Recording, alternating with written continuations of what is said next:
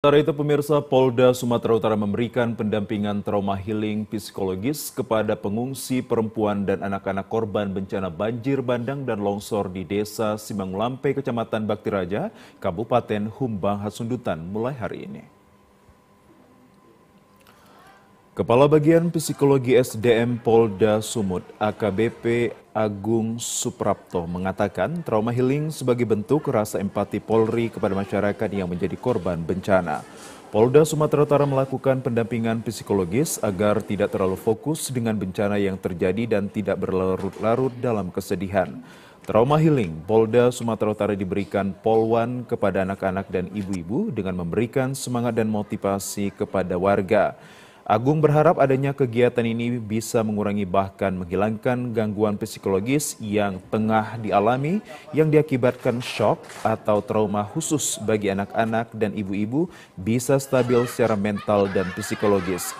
Sebelumnya bencana alam banjir bandang dan longsor di desa Simanglampe ini bermula pada hari Jumat lalu terjadi pada pukul 21.30 WIB yang mengakibatkan bebatuan bercampur lumpur di bawah air ke area pemukiman warga dan banyak rumah rusak berat akibat hal tersebut. Selain kerugian material, 12 orang dinyatakan hilang dan dua di antaranya telah ditemukan dengan keadaan meninggal dunia.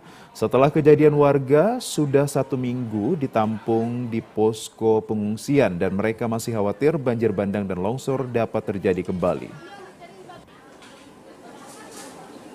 Tim Trauma Sumatera Utara. Jadi uh, pagi ini memang kami sengaja datang ke sini untuk memberikan dukungan psikologis. Jadi sasaran yang uh, kami sasar ada empat sebenarnya. Jadi termasuk anak-anak yang ada di belakang kita ini, kemudian orang tua.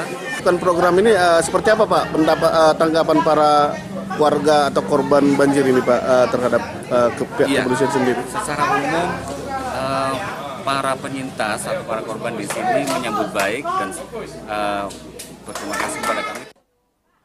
Sementara itu, salah seorang warga yang menjadi korban dari banjir bandang dan longsor, Ripka Manulang mengatakan selama di posko pengungsian mereka diperlakukan dengan baik mulai dari makanan dan minuman dan tempat tidur yang layak, namun juga mereka saat ini menginginkan dapat kembali ke rumah masing-masing. Ripka juga menyebutkan selain itu semua warga merasa senang atas pendampingan trauma healing dari pihak kepolisian. penampungan ini kami baik-baik aja dan makanan kami cukup dan lebih dari cukup. Pelayanan kesehatannya juga baik. Khusus untuk harapannya kepada pemerintah uh, untuk uh, rumah-rumah ibu yang udah rusak gimana Bu kira-kira? Harapan kami semua buat Bapak pemerintah, lihatlah kami Bapak, di mana rumah kami yang telah hilang dan rusak parah. Dengan juga ah, masih ada anggota keluarga kami 10 orang lagi yang belum ketemu